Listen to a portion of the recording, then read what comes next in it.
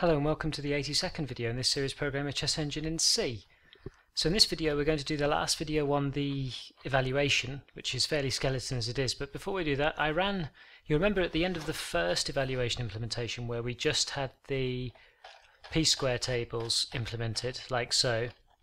You remember that Vice played against TSCP for 20 games using set start positions from the Nunn suite, and Suite being from Grandmaster John, uh, and it lost 13-7, which actually positively surprised me that it didn't lose 20-0, and that was purely with p-square tables. The last videos we've put together this pawn structures with the pass pawn isolated, and then the rook and queens on open and semi-open files and implemented those. And I ran the tournament again, and to my surprise, Vice won it 12.5 to 7.5, as you can see here.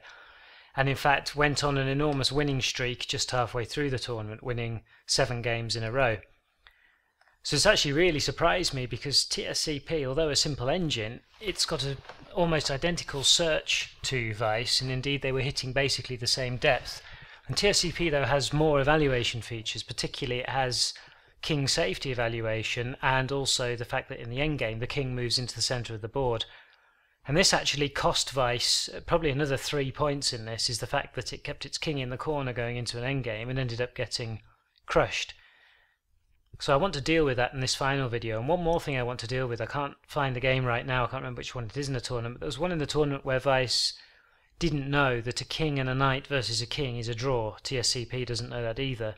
But it caused Vice to play for what it thought was an advantage, when in fact it would have been better giving the knight away and keeping a pawn to promote the pawn to win the game. So I want to put those two issues, one with the king position, the other one with the recognizing drawn material situations to bed in this this video. So the first thing we're going to do, I prepared the code because it's fairly simple stuff, is we're going to add in a function here that I've called material draw. And it looks big and evil, but it's not. And it's based on the code from an engine called Sjeng, which you can, by Gian-Carlo Pascutto, which you can look at uh, it's called Sjeng. If you put that into Google, you can find the code, I think, for version 11.2, and it's based on a function in there.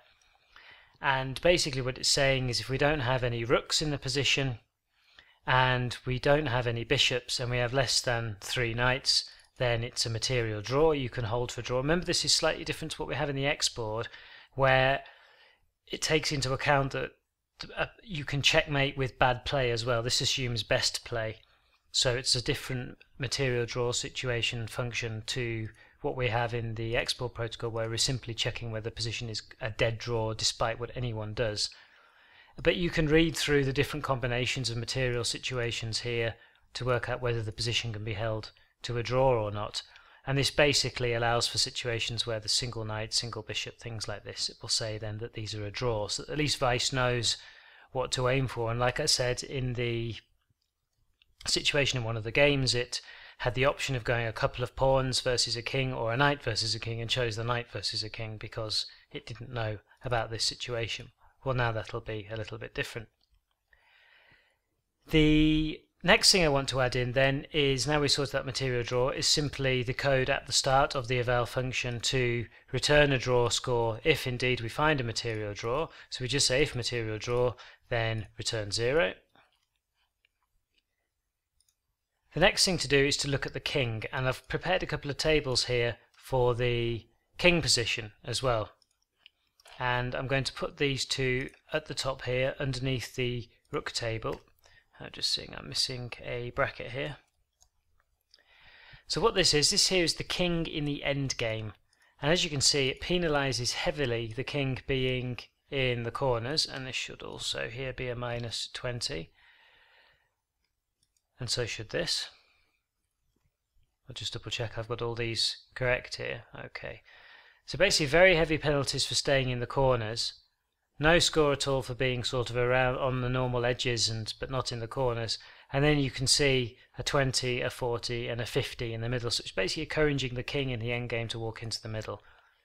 Conversely, in the opening with king O, the king is encouraged to castle with the 10 here king side and not to put the king on f1 and not to put the king on d1 and when castling queenside to stay around b1 or c1 but there's a lot of discouragement with heavy penalties for walking forwards and indeed it will never really I wouldn't have thought go further than the third rank in the game because there's a minus 70 penalty for going any further. And I don't increase the penalties any further here because the assumption is if it decides it needs to go here then it's probably in a strange situation and therefore should be able to walk around the board as much as it wants. But essentially this is trying to keep the king in the opening on the back rank and then walk to the in the end game into the middle of the board. So the way we then implement this obviously is exactly the same as we've done with the p-square tables in the functions here, except we only have one piece because it's one king, so this makes things relatively simple to implement. The first thing we're going to do is define a macro to actually say what our endgame material is. And the way that it'll work is we'll say if there are no queens on the board, then if the material is less than this, then it's an endgame. So I've said two rooks and four knights. So if we have less than that material value on the board, then we'll class it as an endgame. And in fact, I'm actually going to add on some pawns here as well, because of course we could have lots of pawns on the board. So let's say if we've also got eight pawns on the board here, it's really just guesswork. We'll say if there are no queens, and say there are four pawns each, and a couple of knights, a couple of bishops, and a couple of rooks, then we can safely say that's already an endgame situation, and the king can probably come out. And the last thing we need to do is add in this code here, which is almost identical to the code for the other pieces, except we don't need to do a piece loop because we have one of each piece. So we get the square that the king is on, and we say if black queens are zero, or the material that black has is less, and we'll say let's say less than or equal to our endgame material, then add on the endgame square score, otherwise the opening square score. And likewise do exactly the same thing for black as well minusing the score remembering to mirror the square. And I'm really sorry but this utterly irritating Windows update keeps flashing up and I can't get rid of it no matter what I do. So once we've done that then we return the score as normal. So this is only a, it's like a small change but from what I've seen of the games that it's played against TSCP this should make a big difference to the way it plays. I'm already quite happy with the balance of the rest of the scores, even though it's not very much, because it seemed to play relatively well, and I don't want to add anything else in, but I think it's crucial to add in one, the draw recognition, and two, the king position.